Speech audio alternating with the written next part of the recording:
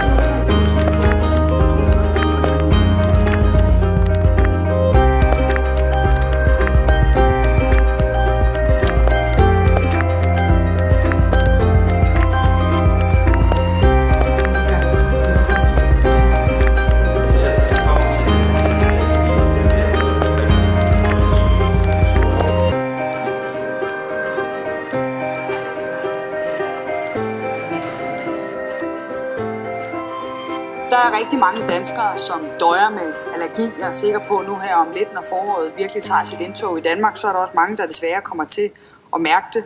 Og derfor er det selvfølgelig også vigtigt, at vi i Danmark sikrer, at man kan få den rigtige udredning og behandling. Flere aktører har på det seneste fremhævet en række udfordringer på området, eksempelvis astma og allergi Danmark. Jeg anerkender som sagt, at der er udfordringer på allergiområdet, og jeg mener også, der er brug for, at vi får kigget området efter i sømne, så vi er sikre på, at allergipatienter kan få den udredning og behandling, de har brug for. Og derfor har jeg også bedt Sundhedsstyrelsen om at give området et servicetjek, så vi kan være helt sikre og skarpe på, hvad der er op og hvad der er ned.